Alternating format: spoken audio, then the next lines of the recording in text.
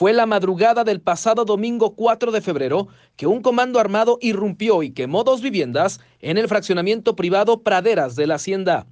De acuerdo con un comunicado de la mesa directiva del fraccionamiento, sujetos armados lograron burlar y someter a los guardias de dos casetas de seguridad.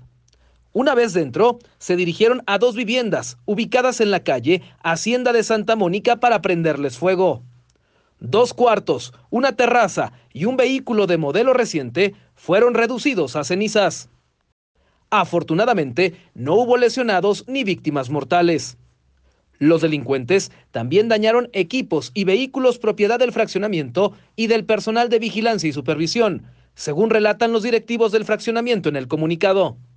Por su parte, autoridades municipales señalaron que fueron informadas del caso de manera inmediata, sin embargo, la seguridad del lugar sigue a cargo de un privado y la investigación ya está en manos de la Fiscalía. No, no, no se han acercado con un servidor.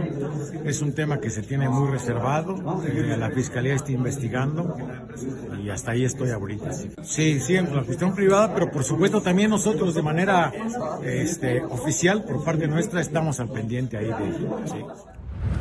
Al sitio arribaron peritos de la Fiscalía General del Estado, quienes recabaron las evidencias correspondientes para iniciar con las investigaciones. Además, les fueron entregados los videos de las cámaras de seguridad de la zona para su análisis y como parte de las evidencias. Víctor Gómez, Noticieros Expresa TV.